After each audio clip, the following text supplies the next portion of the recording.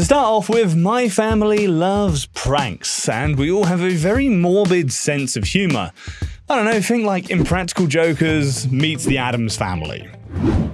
Also, you should note, in all of these stories, my wife is usually travelling for business, which is why I seem to fuck up a lot. Brothers, keep your ladies close, because they stop you doing dumb stuff like this. So, it's the day before St. Patrick's Day, and my daughter, who was probably like, I don't know, seven at the time, told me that kids at her school were making leprechaun traps.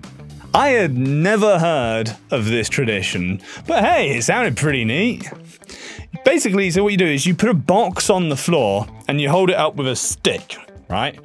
Um, and then you place like cookies in it, hoping to trap a leprechaun. So it comes along, not stick, and gets trapped. You know, simple old trap. Next morning, the kids see the box tripped, and you open it up to see that the oh no, leprechaun got away, but left you a plastic cauldron full of gold chocolate coins. Pretty cute, right?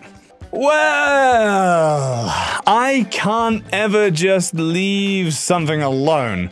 So I find the Halloween stuffed witch, which we have, and after my daughter goes to sleep, I cut the striped leggings and pointy shoes off and place them as if they're coming out of the fallen box. I then take some red food colouring and Karo corn syrup from a recipe for fake blood that I found on the internet and I uh, made drag marks from the box all the way across the kitchen floor to the back door. The implication being that the box amputated the leprechaun's legs and he somehow managed to drag his body away. Anyway, so my daughter gets up and we go downstairs, and uh, she's somewhat shocked, but still not sure what's going on. I lift the box, and there's this note your lust for chocolates, and this forsaken trap cost me my legs. My legs, lassie, my legs! The memory of the Irish is long and vengeful. I will heal my broken body, and I will return with my leprechaun brethren for revenge. So my daughter starts to freak out, and I'm like, okay, I'll, I'll nip this in the butt now, and I'll, I'll, tell her. And I'm like, Molly, Molly, it's okay. It's a bad joke. It's not real.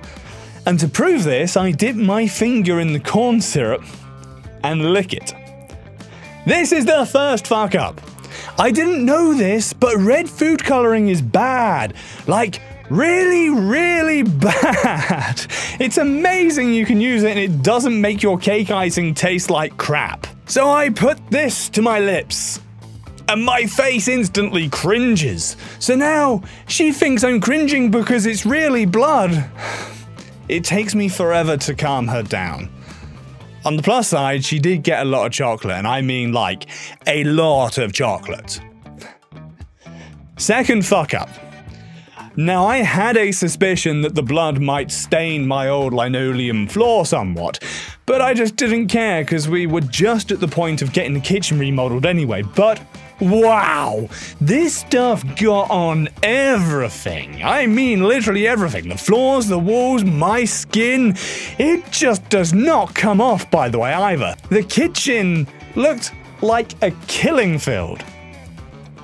Wife? Wife not happy. Not happy at all with any of it.